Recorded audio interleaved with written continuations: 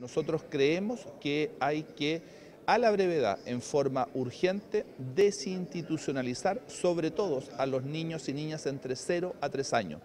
Por cada tres meses se pierde un mes en el desarrollo psicomotriz, afectivo y de todo tipo de eh, un niño en un hogar. Y por lo tanto el proceso de desinstitucionalización debe ser urgente, profundo y en no más de tres meses. Junto con ello, intervención urgente, rápida, pronta en los hogares críticos en función de los informes de la Corte Suprema, la Corte de Apelaciones de San Miguel, el propio Instituto Nacional de Derechos Humanos y el Ministerio de Justicia. Están los informes, solo hay que tomar esos datos y por lo tanto intervenir los hogares críticos donde hay mayor riesgo de vulneraciones a nuestros niños, niñas y adolescentes. Y evidentemente hay una serie de propuestas de largo plazo o de mediano plazo, de mediano entre otras, la discusión en los próximos meses de la ley de presupuesto, donde pretendemos poner el acento en el trabajo con las familias de origen, la familia extendida,